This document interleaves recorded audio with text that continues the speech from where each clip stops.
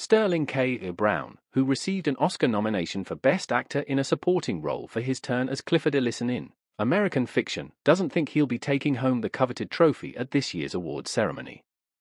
During a guest appearance on The Graham Norton Show on Friday, Brown said he knows he won't win and that he's totally fine with it.